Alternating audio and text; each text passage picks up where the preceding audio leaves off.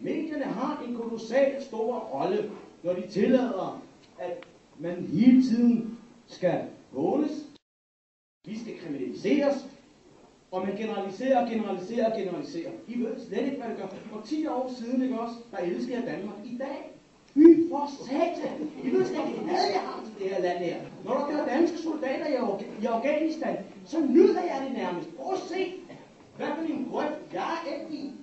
På baggrund, netop på, på baggrund af folk krig, altså, det, det er næsten umuligt at leve i Danmark. At jeg nærmest sidder og overvejer at flytte herfra.